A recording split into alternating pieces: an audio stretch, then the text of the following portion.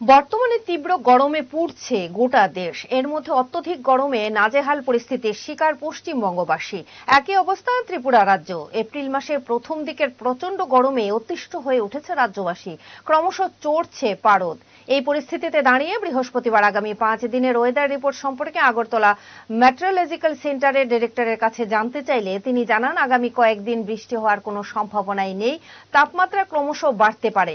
তাপমাত্রা বেড়ে উনচল্লিশ ডিগ্রি পর্যন্ত যেতে পারে তবে এপ্রিল মাসের শেষের দিকে তাপমাত্রা নিম্নমুখী হবে বলে ডিরেক্টর জানান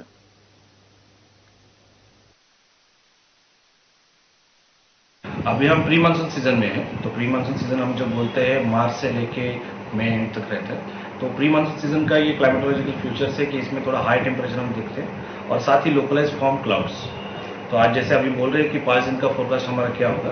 तो पाँच दिन अगले पाँच दिन में अभी ये वेदर शुष्क यानी ड्राई एक्सपेक्टेड है कोई बारिश का अभी तो कोई संभावना नहीं है अगले पाँच दिन के लिए। जो टेम्परेचर रेंज है तो हम कल का टेम्परेचर देखेंगे वो thirty eight degree Celsius temperature हमने देखा था जो हम उसको बोलते हैं हमारे क्लाइमेटोलॉजिकल केस में इस अप्रिशियली अबो नॉर्मल यानी तीन डिग्री ऊपर थोड़ा टेम्परेचर चल रहा है। अ, अभी हमारा ये पूर्वानुमान ये है कि अगले तीन और चार दिन तक ये टेम्परेचर थोड़ा सा ऑन हायर साइड रहेगा ऑपरेशन रहेगा। अगर हम अप्रैल महीने का एक्सट्रीम टेम्परेचर है बहुत ज़्यादा टेम्परेचर देखेंगे तो थर्टी नाइन डिग्री सेल्सियस गया था। It is way in nineteen eighties में।